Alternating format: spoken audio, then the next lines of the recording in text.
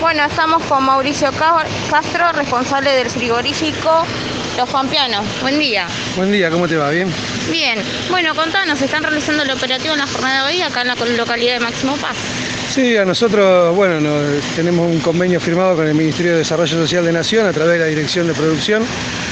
Eh, que está a cargo de Rafael Kreckler. Bueno, a través de ellos nosotros vamos a distintos puntos de la provincia y del país llevando este programa que en realidad lo que lleva son precios solidarios, esto se llama Mercado Solidario de Carne, donde llevamos precios solidarios para que la gente pueda acceder a un muy buen producto de calidad y a muy buen precio.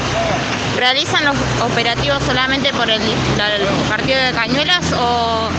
No, estamos, estamos en general en toda la provincia, nosotros somos de La Plata, eh, el frigorífico Los Pampeanos es un frigorífico que tiene producción propia agropecuaria y, y ahí también venta a, las carnicerías mayoristas y tenemos carnicerías también en, la ciudad de La Plata. Y bueno, a través de este programa lo que nosotros en el convenio que firmamos con el Ministerio de Desarrollo Social de Nación es poder vender buena carne a muy buen precio montando no solo eh, o sea, dando un buen producto de calidad, sino también montando esta carnicería móvil que la gente viene y se encuentra con algo realmente que está bueno, donde puede acceder, pueden comprar con la tarjeta alimentar, con todas las tarjetas sociales, ningún problema, porque es así como lo hicimos el convenio con el Ministerio.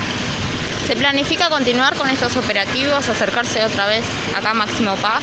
Mira, la idea del Ministerio es eh, llegar con continuidad, por lo menos cada 15 días, a todos los lugares donde vamos. Nosotros como empresa estamos en un proceso de inversión de armar tres carnicerías móviles más para poder hacer eh, de estas cuatro, o sea, y que puedan girar con más, con más eh, asiduidad y llegar a todos los lugares sin, sin ningún problema. Bueno, muchísimas gracias. No, por favor, eso.